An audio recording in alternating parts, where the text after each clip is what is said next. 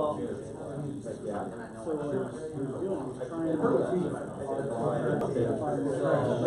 All right, let's go ahead and bring this back up here. And uh, I'm going to open this up in prayer, and then I'm going to ask you some of these questions. You guys will answer together as a big group. Let's pray. Heavenly Father, we come before you tonight. We thank you for this time that you've given to us. And each week, God, uh, it's been part of my prayer that uh, those who are here would not just get more information so that they sound smarter, uh, but God, we want to get more information so we can change. We want to get more of your word. We want to get more of your spirit, as much as that's possible, uh, so that we can be better husbands. More importantly, so that we can reflect you and become more Christ like. So we ask that you would work in us tonight, God. I pray that uh, our conversations be honoring and glorifying to you. And uh, I just ask for your blessing over our time in Jesus' name. Amen. Amen. All right. So, what stood out to you the most from last week? we'll start there.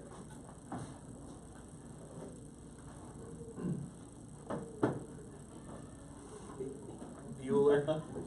Bueller. Yeah. I think just just really deep diving into the topic of forgiveness, like you know, as it, as it relates yeah. to, to our spouses, and not just okay, yeah, sorry, you know, but really taking the time. Like we were just talking at our table about just you know, like there's times where you ask for forgiveness because you need it. There's times where you don't ask for forgiveness because you're just not you're not there yet. Yeah. But understanding that that place exists, you know. Okay. Yeah, and, and, and thinking through, I, I know with, with my own kids, right, there's a, a vast difference between when they are saying, Will you forgive me from the heart? And doing what mom and dad have asked them to do. Uh, one, I think, brings about change.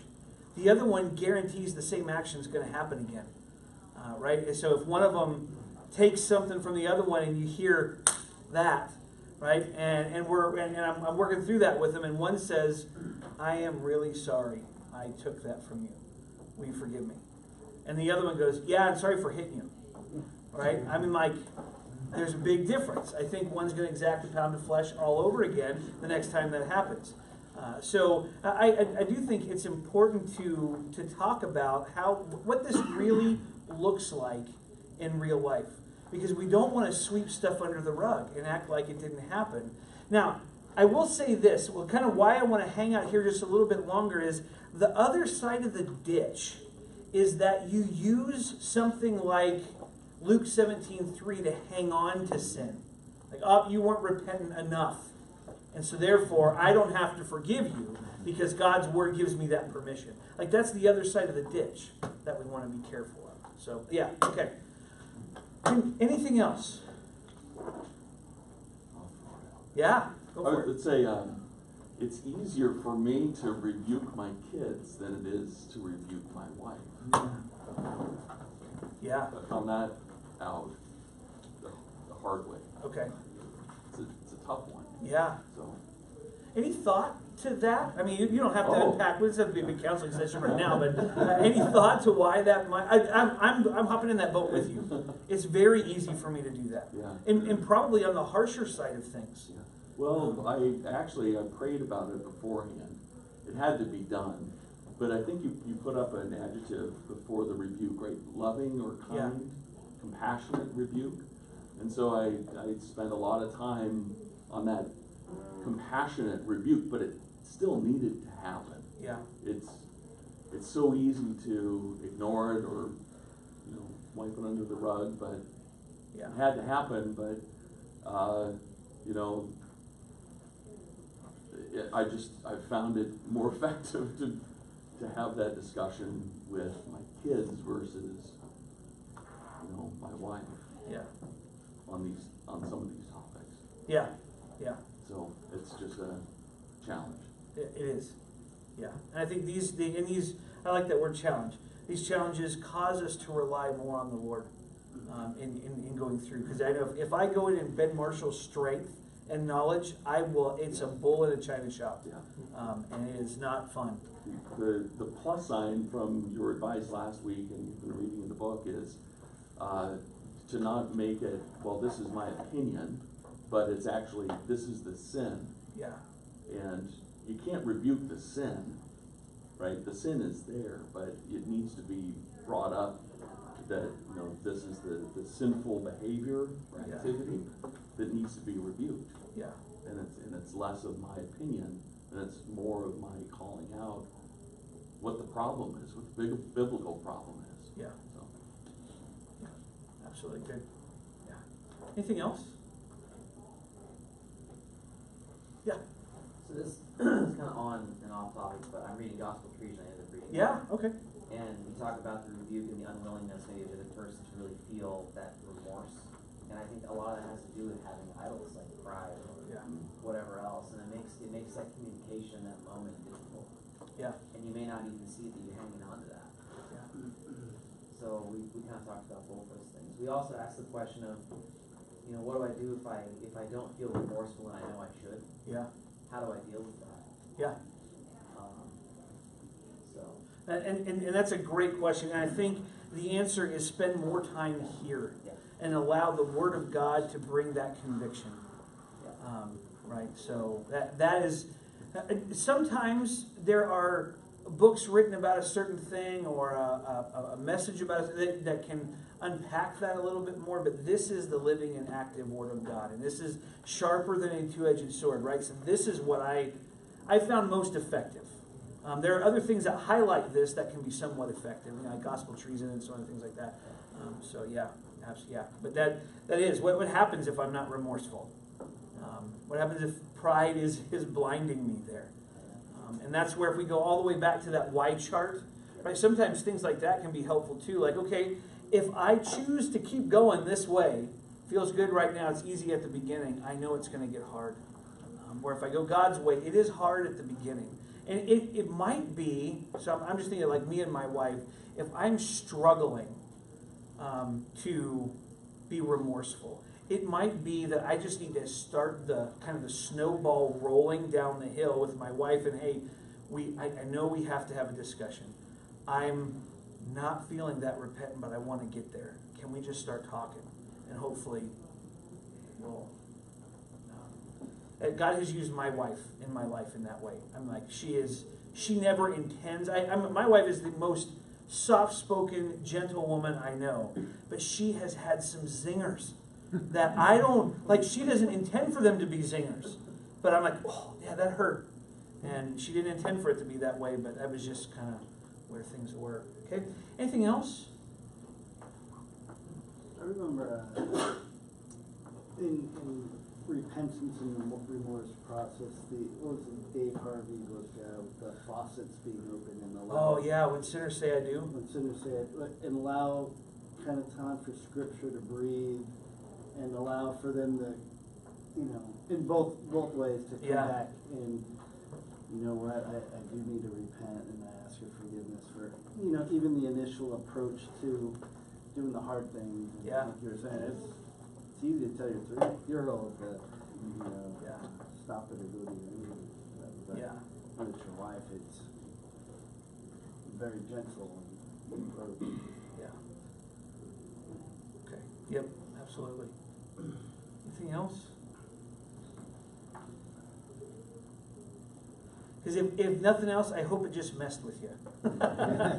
That's what I would hope for. Just this, the, the whole, it's, it's easy because it's a churchy word to say forgiveness, right? But to unpack that and say, what does this mean for me? What is this calling me to do? Here's the only other thing I want to encourage you with um, is make sure you talk about the gospel often, whether you're repenting or whether you're granting forgiveness, right? Because I I have found just my size and my my tone of voice. So this is more with my kids than with my wife, but they could they, they can say and do the right thing out of fear, and I'm not trying to be to induce fear. I'm just a bigger guy. And I'm thinking, you know, I've got a, a two year old little Finley who right now she is in her terrible twos. And, and you know, I, I can say, Finley, stop it right now. And I can see her. She just stares at me and like her eyes get all, you know, watery and, and then I'm mommy, mommy, you know, something like that. But bring the, the gospel in on things. I mean, if, if you, and, and so now I'm, I'm talking, I, I know this isn't a parenting class, but I'm gonna use a parenting example and then we can slide over into a spouse example. But with, with kids, if you know one of your kids is lying, if I know one of my kids is, is lying, I've had a couple of these where, I mean, I could say the sky is blue and they go, no, it's not, it's green. Look at it. Yeah, I did, it's green. Uh, and, and you, you know they're lying. To bring the gospel to bear, you know Jesus died for lying, right? There's nothing to hide from. Like that, embrace that and just tell the truth. Because Jesus already covered that. There's absolutely nothing to hide from. There's everything to gain by telling the truth. There's everything to be lost by lying. And that you can you can coax them in the right direction by having them focus on the gospel. So that, that's the only, that's the, the balancing side of things I would throw out here. We can talk about forgiveness and repentance and have the gospel absent from that and be very secular in our approach. Um, I mean, you, I, I could say, this is what's best for your marriage if you tell the truth and you change. Okay? It's kind of repentance and forgiveness there a little bit, but once we bring in the, the gospel, right now there's a peace. You're right. Jesus, he covered this. It's done. I don't need, I don't have to fear God, um, and we can work through this. So that would be the, the, the balancing side of things. I don't think I ever got to that last week. Um, and I, I thought, oh, that would be horrible if we left this topic without talking about the gospel. Um, one other thing that I would just want to so there are a billion books on forgiveness that, that deal with the, the topic. You can, John MacArthur, I think his is Forgiveness Full and Free. Uh, here's one called Pursuing Peace. Uh, here's one here called Forgiveness, the Power and the Puzzles. Um, you know, so there's, there's lots of books out there on forgiveness. Um, this is just another way of thinking about that forgiving on two different, they, they have two different sides to this one, or there, there are two different sides to this one thing called forgiveness. And so um, Robert Jones, who wrote Pursuing Peace, he talks about it this way. He said, There's transacted, granted, relational forgiveness. That's level two. That's the that's on this side. But we would have on that sheet there. Is it called relational forgiveness there? What's what's the second one? There's judicial forgiveness, but then there's fellowship forgiveness. I, I, knew it was a different word. So there's, but he says here on that side there's relational forgiveness. So whether it's fellowship or relational, and then the other side is an attitudinal, heart, or dispositional forgiveness. And, and so um, this is how he, he, he breaks it out with, with two different columns. He says on the attitudinal, the heart, the dispositional side of forgiveness, that is mandatory. We have to do it. Mark 11 25 clearly states if you are worshiping and you realize you have something against somebody, stop what you're doing and go and make that right. That's not optional. You have to do it. Which think, think about a Sunday morning. I don't know if you face this on Sunday mornings, but sometimes that can be the worst on the way to church.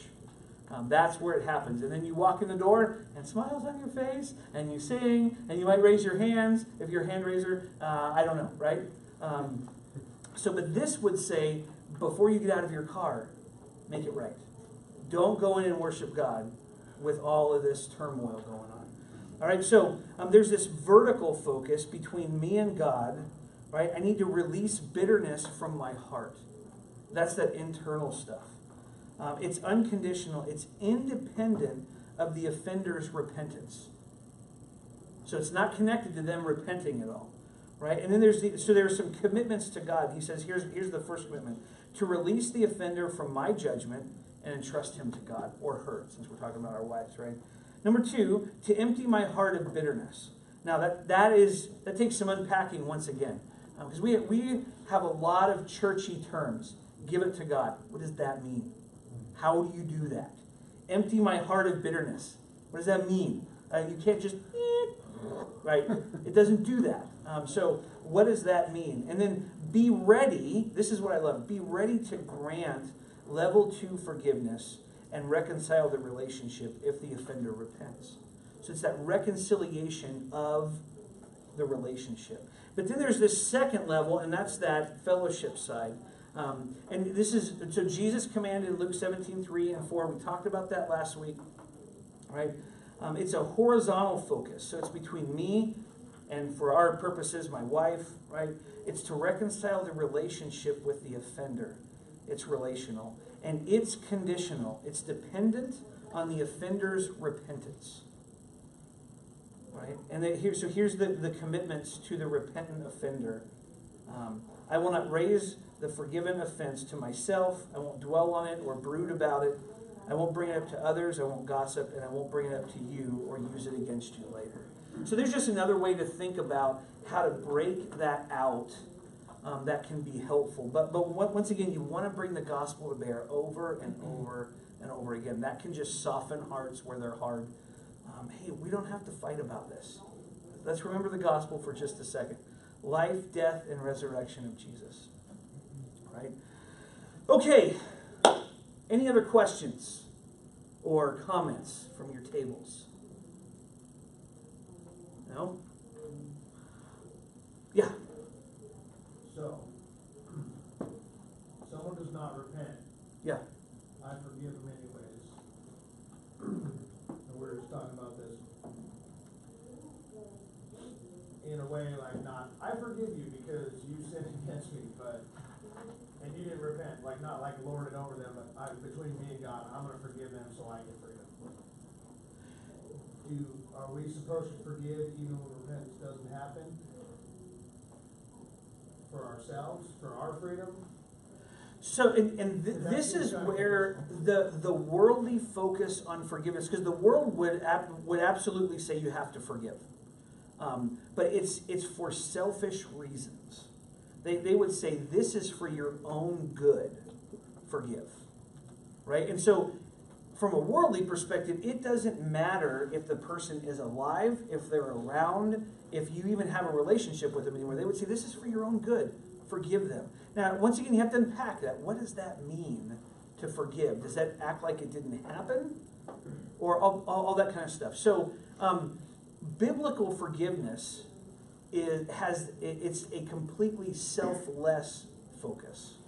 Meaning, I'm doing this. Jim, you're right in the front again. I'm going to use you again. um, if, if I, if, if Jim sins against me, right, that I have to be selfless in my approach to him. Um, and and I, I have to love him enough to bring his sin to his attention. Um, now, he might say, Go take a hike, Ben. I don't care.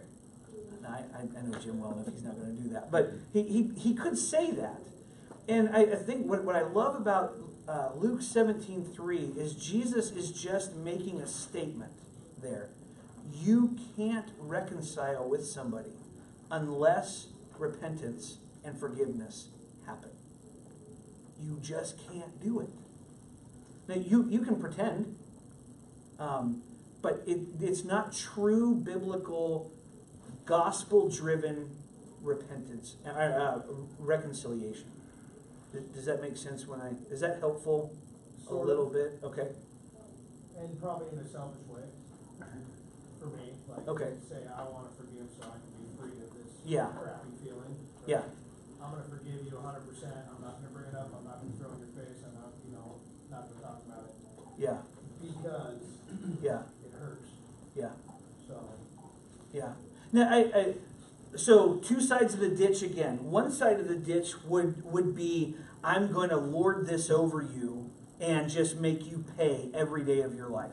Right? So that's one side of the ditch over here. The other side of the ditch over here is I'm going to act like this this doesn't impact me at all. It's they let bygones be bygones. And there are sometimes, I mean, Pro- Proverbs is clear in a couple points. Love covers a multitude of sins. I think love should cover a multitude of sins. Um, but there are some sins, and I think that it's, it's individual. Um, my wife could say something to me that totally wouldn't offend me, and it would offend you. and your wife could say something to you that wouldn't offend you, and it totally offend me, right? So it, this is a very individual thing where I think about it all the time. Um, or maybe whenever certain names happen or certain places, I, and I'm like, oh, I, I like this is where my mind is. I'm thinking about this. I, I think that's where we have to, out of love for that person, go to them and say, this is the sin. I'm not going to snub you. If I see you on the on the sidewalk, I'm going to say hi. Um, but I, I can't treat our relationship like it's okay.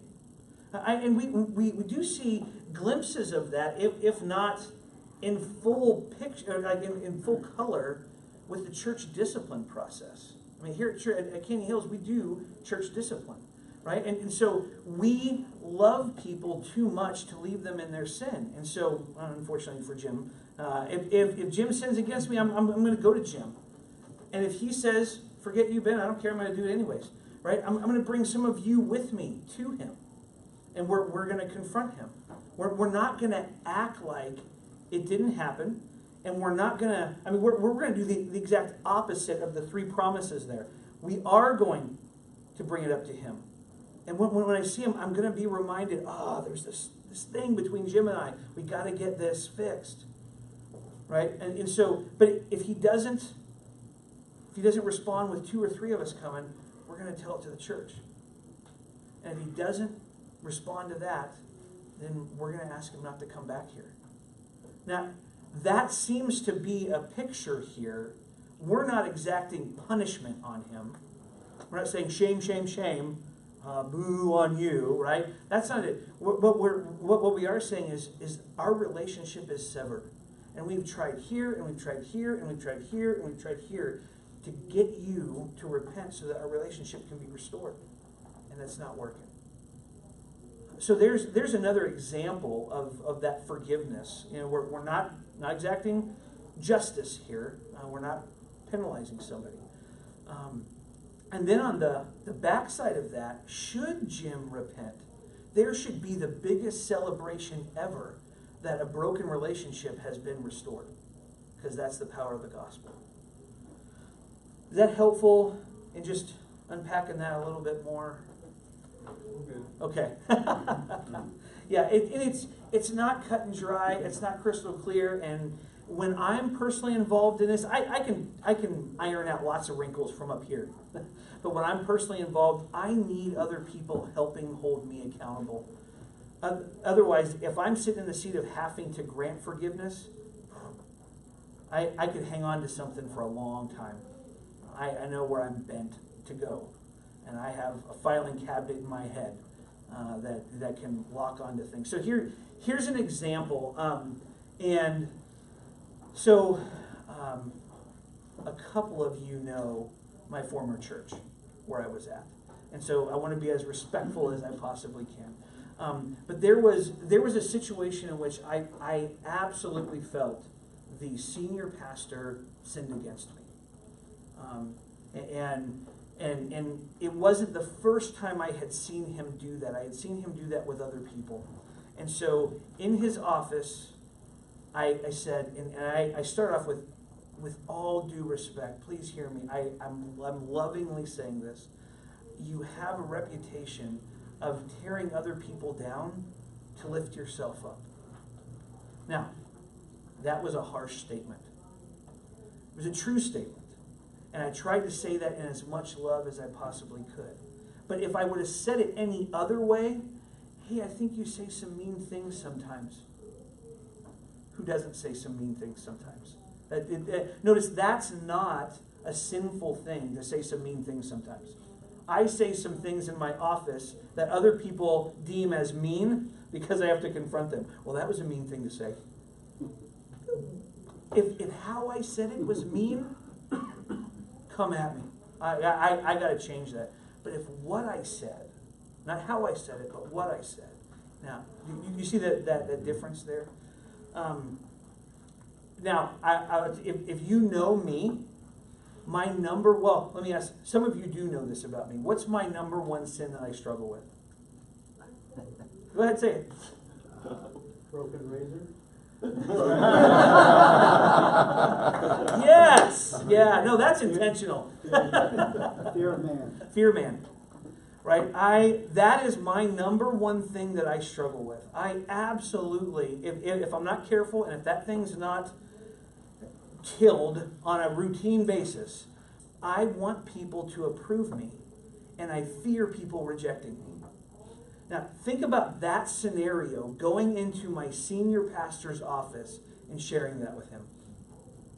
No way would I ever want to do that. Like that's it. My heart was like, yes, I get to stick it to him. I was sick at my stomach. I just remember going, I don't want to do this. Um, right, so out of love is why I went to him, um, not out of out of being mean or wrong, uh, you know, or any of that kind of stuff. So I don't want to belabor the point of that. that I just kind of want to help it make sense a little bit. Okay. Well, let's keep moving on here because we didn't get, we got about a third of the way through last week. We'll, we'll catch up, I promise. Um, so, uh, so, but why does repentance matter? And did I get to this diagram last week where the two walls were up? Okay, so we can kind of fly through this. Why does repentance matter? There's Luke 17, 3, right? And here's these two sides of things. I feel like I'm right in the middle of the TV. Um, so here's these two sides of things where one person has sinned on one side, one person has been sinned against, or they're innocent on the other side. And what, what we're looking for, this is that relational stuff in the middle. Right? So now think about your wife, or think about your kids, uh, or other relationships where you just want that good relationship in the middle, where I can see you at church and things are great. Um, things are uh, like, you trust me. When I say, you look good today, you trust me. Uh, when I say there's money in the bank account, you trust me.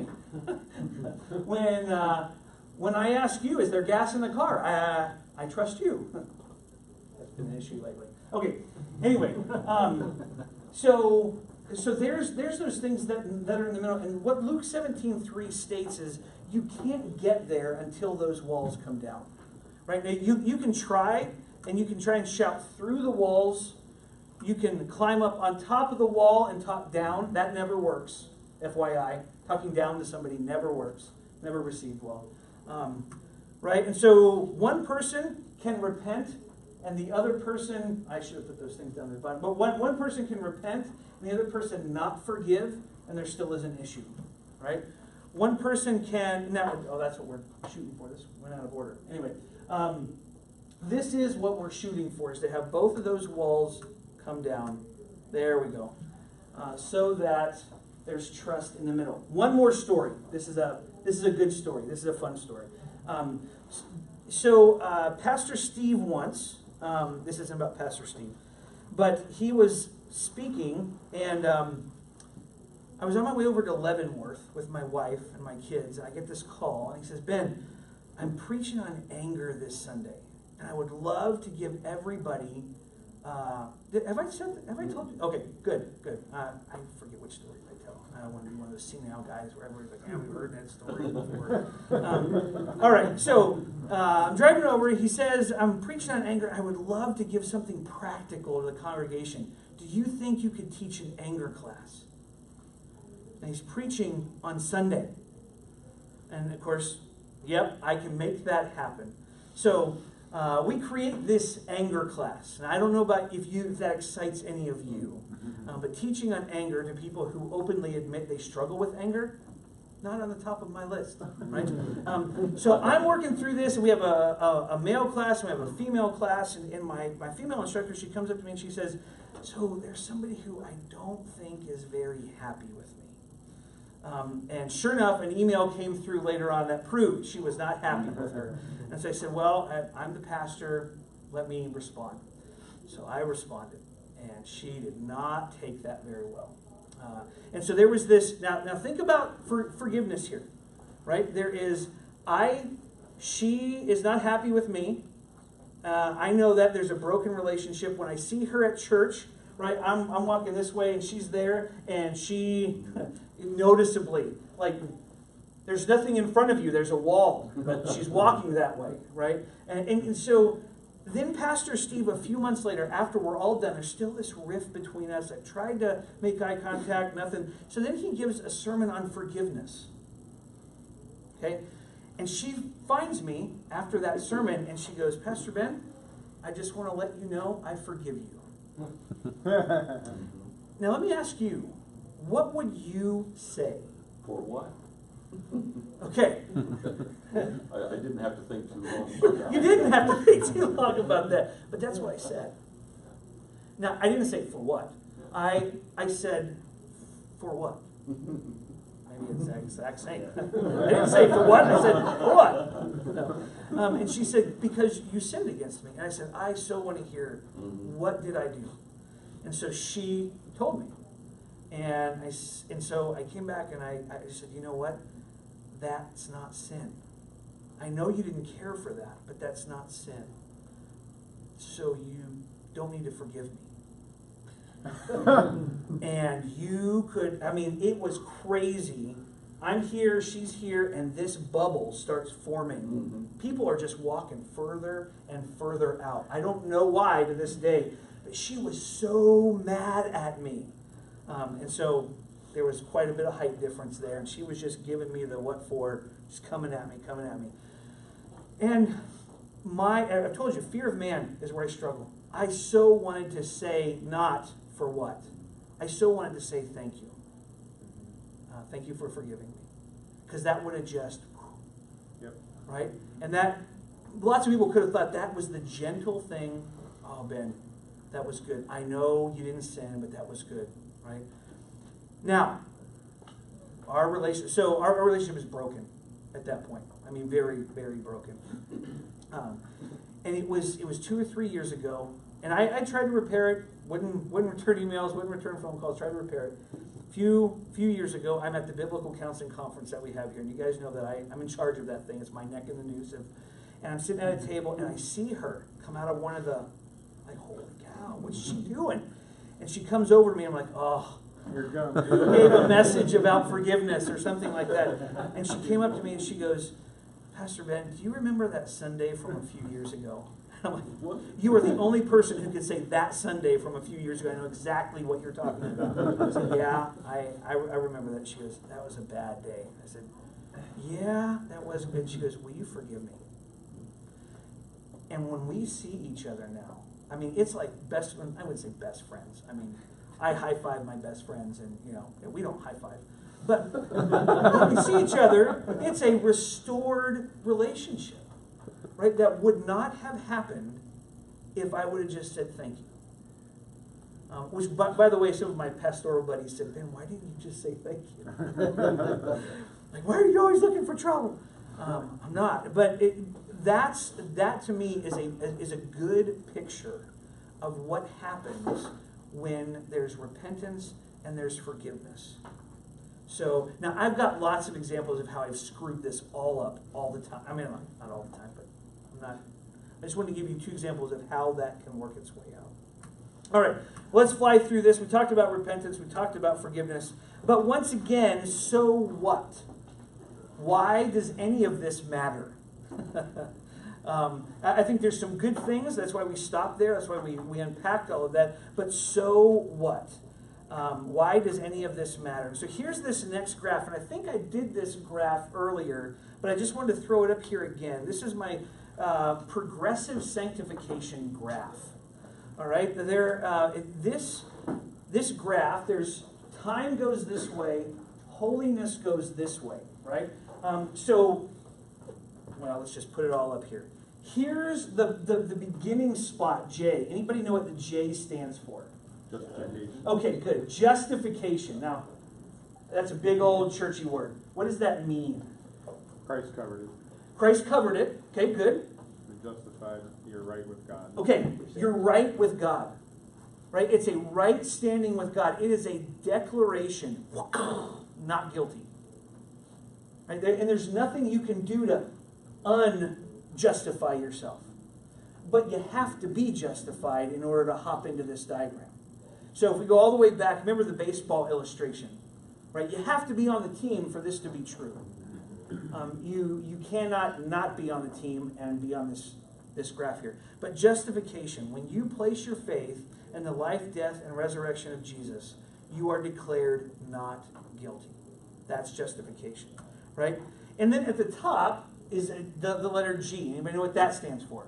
Glorification. Glorification. All right, and what does that mean? You've reached God. You're now in His presence. Okay? Yeah, you you're now in his presence, which means you're in Or, glory or heaven. Yeah, I was going to say the H word, but no, yeah, heaven. Yeah, um, right. And so that happens one of two ways: Jesus returns, or we die.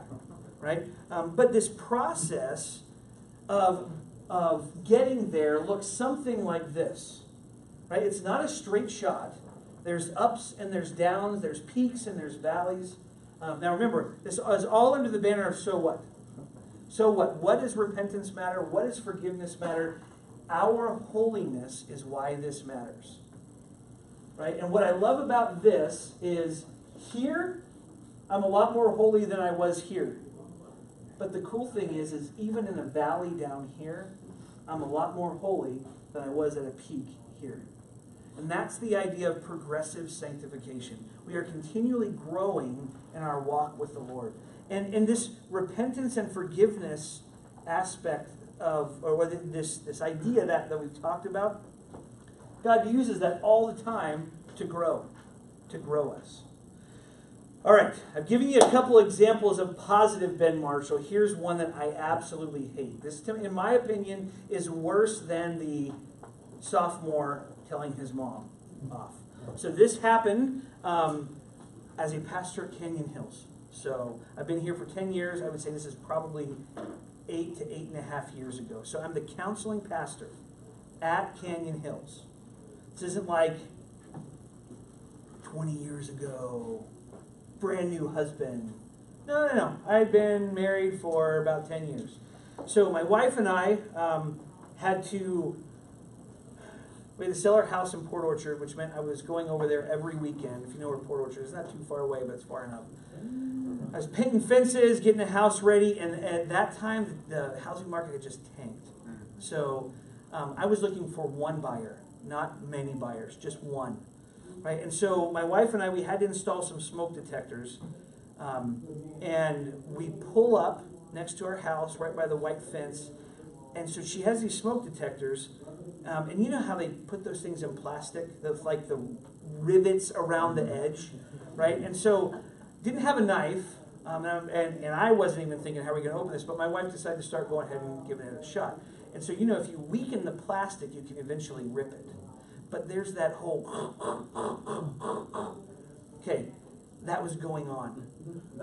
Um, and so here, out of my mouth, counseling pastor, Canyon Hills, right? I asked a question. And you, uh, yeah, how would your wife respond to this? Um, I just said, Do you ever feel like you're retarded? that was what I said. Yeah. yeah. And why are you up here, Ben? Uh, I am not. Uh, there was so many things wrong with that statement. It was at, it was aimed at my wife, but just the words in that statement were horrible. Um, and she came back with, "Do you feel like I'm retarded?" Great question, like meant to zing me. And I, you would have thought I would have learned, but I didn't. And I thought this was any better. It's just kind of like a monkey putting together a puzzle. That's what I said. Like that was any better. I've never said that again. I repented of that, and she graciously forgave me. The growth process. I. This isn't the valley. It needs to go down there uh, in in that moment. And why my wife responded as graciously as she did is beyond me. She had every right to both barrels. Uh, how is that Christ like in any way? And just give it to me. Um, and she, she didn't. Um, so there, there you go. I gave you a couple positives and then one negative that just blew anything out of the water that was, that, that was positive. But in, in the for what? Why, why does repentance matter? Why does forgiveness matter? Because Christ likeness matters all the way back week one. I said that was one of our goals. Our goals, one of our goals isn't to just change. It's not to be a better husband. It's to be more like Christ. And so that's why all of this matters. We want to be like Christ. Um, we, we want to be like Christ in how we learn. We want to be like Christ in how we love, and we're we're being like Christ in how we lead. That there's our, our three L's that, that we're working through. All right. Any questions about this diagram? Nothing huge about it, but sometimes this can be a, a, a breath of fresh air. Um, yes, I, I- I think a good gospel story always has failure in it, always has successes in it. Um, and the reason why we can be open and honest about that and just take a breath of fresh air is because it's been covered by Jesus on the cross. Right? And he's, I, I heard a, a, a guy talk about this like a man walking upstairs with a yo yo. We're the yo yo. Uh, and our job is to make the difference between the top of the hand and the bottom of the string shorter and shorter and shorter. But Jesus is the man walking up the stairs with us in his hand. We're going in that direction. Um, and that, that makes that like that makes discipline way different. Um, discipline is a loving thing. That's what Hebrews 11 or uh, Hebrews 12 says. God disciplines those whom He loves, right? But if, if it's training, if He's helping me shorten that distance, that's a good thing. He didn't just let me dangle down all the way at the bottom. Okay. All right. Um, well, as, as we're talking about leading, um, I, this is going to be where we, we make a sharp right turn. There's no easy transition here. Uh, we're just making a, a, a sharp right turn. Oh, progressive sanctification. Um, and, and here's what we're going to be talking about. As you lead your wife, right, there are moments, and this falls underneath the chapter, honey, you need to take a bath. Uh, has anybody gotten to that chapter yet in the, the book? Yeah, and it's all about how do you confront sin in your wife when you see it, when, when, you see that. And if I'm sitting in your shoes, and I am in your shoes, mm, this isn't. I don't want to talk about this chapter, um, right? But this is out of love once again. But here's where we we, have to go. Uh, we have to start with the conscience. Uh, anybody have a good definition of what the conscience is? Holy Spirit trying to lead you to know what's right and wrong. Okay, so I would say that's the Holy Spirit trying to lead you with what's right and wrong. Um, but the conscience, because everybody has a conscience, right? It's not the cricket. Uh, yeah. The me that knows what's right and wrong. Okay. So Doing what is wrong. that, so in in that instance, I would say the conscience is functioning there, um, making you feel something, letting you know this is wrong. I should not be doing this. Moral code? Absolutely. Okay. Is it the moral code?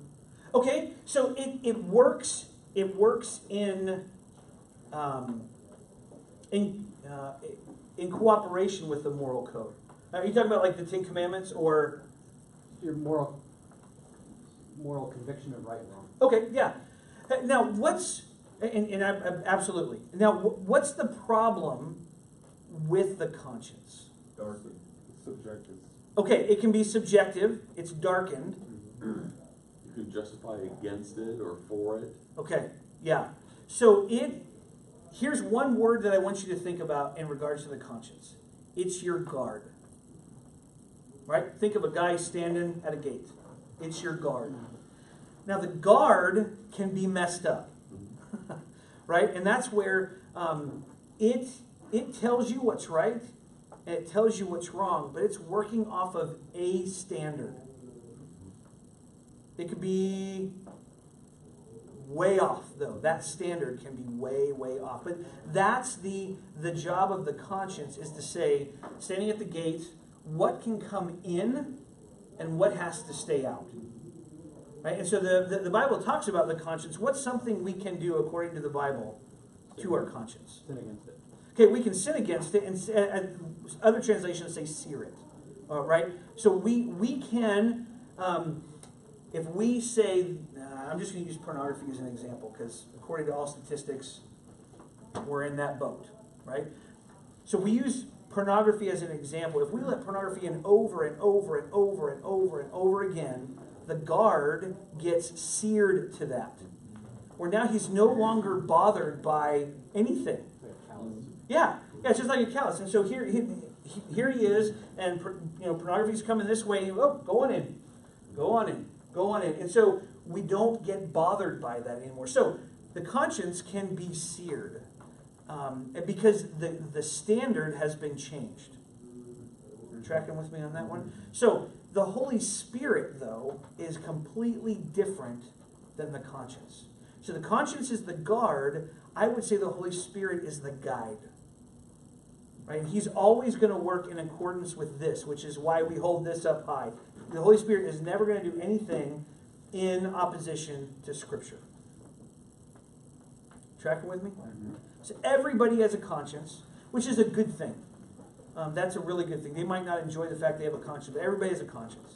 Not everybody has the Holy Spirit, right? And so now we're talking about wives and their conscience, because this is all under the category of leading. We are leading our wives, which means we have to lead ourselves first. But let's talk about four different consciences, four different categories of consciences.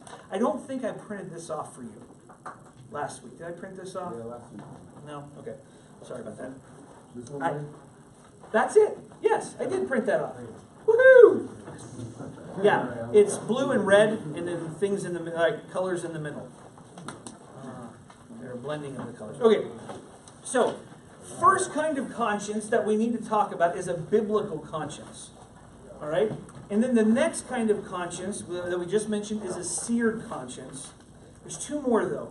And, and, and now, I, I don't want to sound like a broken record, but just keep in mind why we're talking about this. As you are thinking about confronting your wife and interacting with your wife, you have to factor in her conscience. What does her guard look like? What are some of her experiences in life that she's gone through that have informed the guard? Right? Um, one example in this for me uh, we have a little dog named Harley. Um, I am not a little dog fan. Uh, he's a punting dog. My lab is my hunting dog. This one's a punting dog. Um, and, and, and this was in our, our, our phase where my wife wanted a little dog. And, and anyways, I need to go on all that. Um, I know I can drive the dog crazy if I take my belt off. Not- beat it, but take my belt off, and then I fold it in half, and I go whoosh, right, and make that snapping noise. Drives him bonkers. He just he's running all over. Now I can, I can do that, and I can have a lot of fun with that. Um, but my wife, growing up, that sound meant something very different for her. Very different. Um, and uh, so I could continue to make that noise and say, I'm not sinning. Prove to me I'm sinning. Right? But for her, that is, uh, uh, her guard has said, don't ever do that ever. Don't marry a man who does that. Don't be around men who do that. Right? And so as I'm trying to lead her, I don't want to lead her in the wrong direction because her conscience is saying, don't do this. I want to lead her in, in, in a loving way. All right, third one, third, Third, category is an untrained conscience. Now, I- and we'll unpack these just a little bit more. Um, and the, the fourth one is a weak conscience. So here's four different types. And as I'm talking about this, I realize you might go, yikes, I don't have a biblical conscience. I've got one of these other three. So let's let's talk about these here. Let's talk about a biblical conscience and, and what that is. All right? That is a conscience that's activated by the Bible and shame is produced. And that's good when shame is produced. But it's activated by the Bible. That's the key thing there. That it's activated by the Bible. So, um, if I'm walking along and uh, uh, since I use pornography, I'll use this again, and I see some pornography laying in the ditch. Just let's pick a magazine. I know that's not very that's not the biggest route for pornography anymore. But let's say it's in the ditch over here, and you know, and a, a biblical conscience would lead me to do what? Throw it away. Throw it away. Okay. What else? Like, oh, that's it, man. Throw it away. Acknowledge that it's wrong. okay. Acknowledge that it's wrong. Maybe even just pass it on by. Right now, if you're thinking, uh, well, but what if somebody else sees it? That would be why you would throw it away, right? So you would want to protect other people. Yada yada yada. So there's a, a, a conscience that's activated by the Bible. Now, the seared conscience, on the other hand, right, it is not activated by the Bible, and shame is missing. Okay, now that don't don't con, uh, don't confuse that with when they're caught, they feel ashamed. That's different than um, shame missing. You, you, see that, that difference there? Um, so if, if somebody gets caught doing something and they're ashamed, that doesn't necessarily mean that they have shame. Uh, I saying that right? So, if I catch somebody, we're, we're sticking with the pornography theme here. If, if, if, if I catch somebody looking at pornography and they're ashamed, that doesn't mean they have a biblical conscience. That's what I'm trying to say. That means they got caught. Right? And if you want an example of that, look at King Saul uh, when he gets caught for not killing the Amalekites, specifically Agag and some of the camels and things like that. Okay? So there's a seared conscience. It's not activated by the Bible. Shame is missing. And so notice what's needed conviction is needed. Right? So that's where your rebuke needs to be factored in. How am I going to rebuke on this one? All right, but an untrained conscience. And notice the word new is up there. Right? So this is a conscience. It's never been activated by the Bible. So I, I, I don't know who's married to who in here. You might have a brand new believing wife. Right? And maybe you're a little bit further along in your walk with the Lord. So training is needed, but how do you what, what kind of training for a brand new believing wife, for, for a conscience? How, what, what, how, how would that training? Like give me some adjectives for what kind of training? Gentle. Gentle. Some gentle, some patient training. Like a child. Yeah. study. Absolutely, yeah. Uh, you know, I, uh, my my son who I threw up there, he was struggling with some math the other day, and, and, and as I was sitting down with him, I found myself like in my head, going, "Why aren't you getting this? This is simple, um, right? But it's brand new for him, and and and that allowed me to calm down, and and to take a look at it from another angle. Okay, I mean, I I, I went from pad and paper to puzzle pieces to try and show him how things are done, just a, a few other things. You just you patiently endure and you keep going and keep uh, explaining things. So, never been activated by the Bible, but shame is missing. Right? This this is a big piece because if if they're brand new and they have an untrained conscience, but you look at shame is missing, you're like, oh, you got a seared conscience. And, and you go after them with conviction and a, a harsh rebuke, right? You can actually really damage a brand new believer, right? Um, remember at, at another church that I was at, there was a woman who she had just become a believer um, and wore some pretty provocative clothing, right? And, and the, the temptation for leadership was to say, hey, knock it off. You're causing guys around here to stumble. But once they, they factored in, she's a brand new believer. She's a, a, a godly woman to lovingly come alongside her and say, hey, let me, let me bring some scripture to bear here. Right? In, in a loving and gentle way. So, untrained conscience. Then the last conscience, and this is the one I want you to be very, very careful of. It's a weak conscience. Right? It's activated, so it's not a dead or a, a, a, a sleep guard, right? And a guard who's fallen asleep. It's activated, and there is shame, but it's activated by the wrong criteria. Does that make sense when I say that? So instead of being activated by the Bible, it's activated by something or someone else.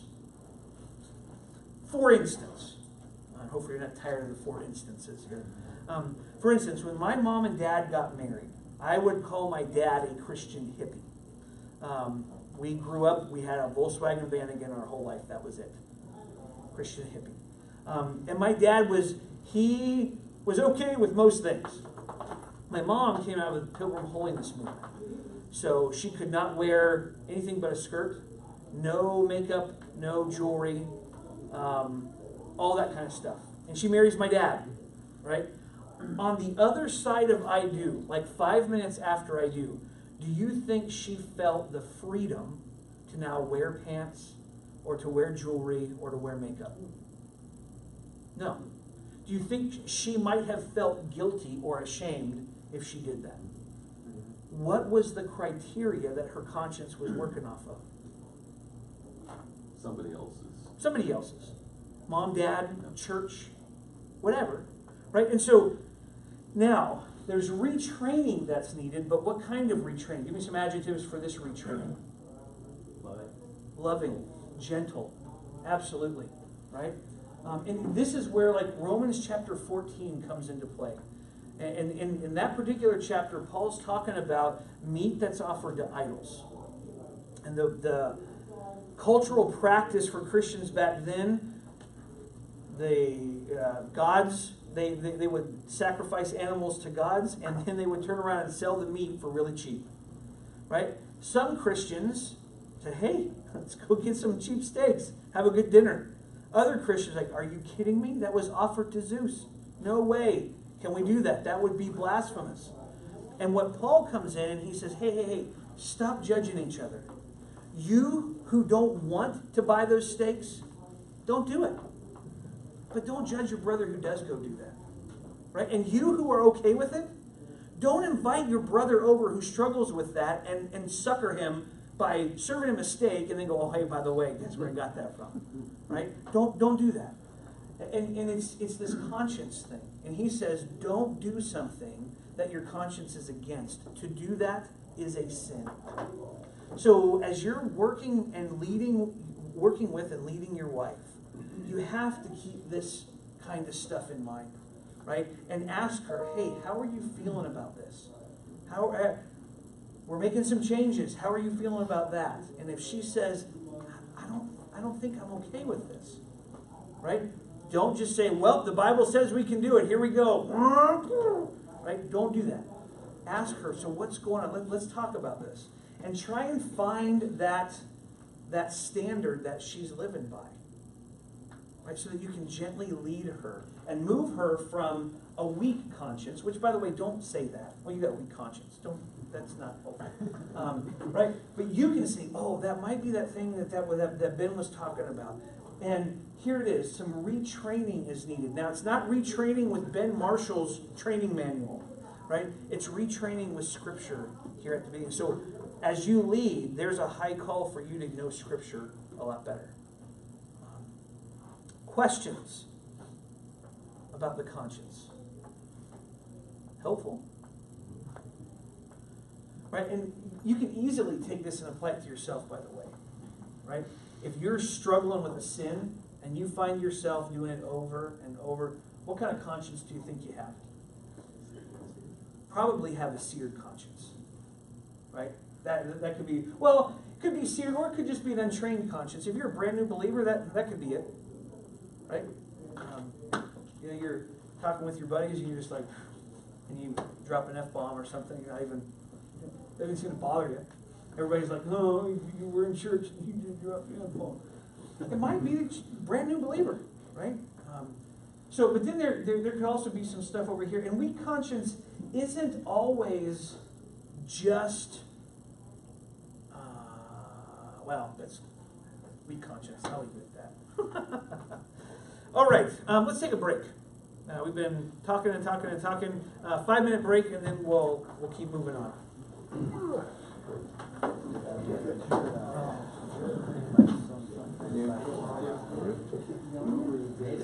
Okay.